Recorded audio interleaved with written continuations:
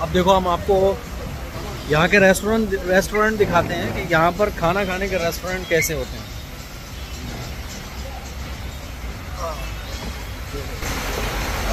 ये तो इस तरह से यहाँ एसी चल रही है। ये यहाँ की एसी समझ लो आप। शॉर्ट एसी और देखो ये यहाँ की सारी बिल्डिंग वगैरह रोड और ये है यहाँ का रेस्टोरेंट टर, टर्किश रेस्टोरेंट और ये यहाँ के वेटर्स हैं।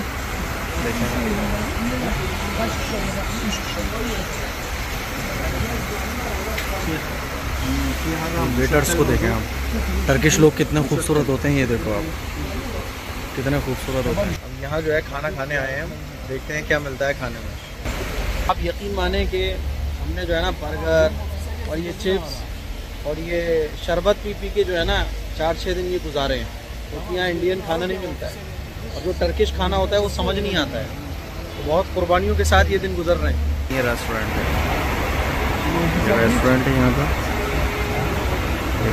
वेटर्स को देखो आप वेटर्स चलिए।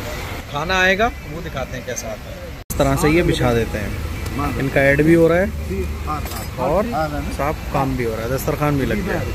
और ये साहब आ गई इनकी चम्मच वगैरह। देखें ये साहब। चम्मच वगैरह इसमें कांटा चम्मच वगैरह। ऑर्डर दिया जा रहा है।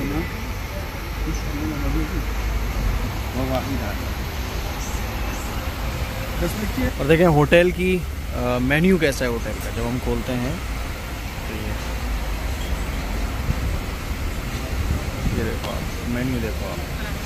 यहाँ की डिशेस के फ़ोटो देखो ये पैंतीस लीरा ये थर्टी लीरा ये देखो आप मेन्यू देख रहे हो साहब? और ये खाने देखने में बहुत खूबसूरत हैं। लेकिन खाने में जो है ना आपके गले से नहीं उतरेंगे। पाँच छः दिन हो चुके हैं चिप्स खा खा के गुजारा चल रहा है अपना। हाँ भुट्टे खा के चिप्स खा के कोल्ड ड्रिंक वगैरह और ये शरबत पानी। और केक वगैरह खा के ये देखो। ये देखो। देखने में बहुत खूबसूरत है। ये चीज़ थोड़ी बहुत ठीक लगी थी बस। आपके लिए वही मंगाई हाँ। ये देखो आप। पता नहीं क्या क्या है भाई। सारी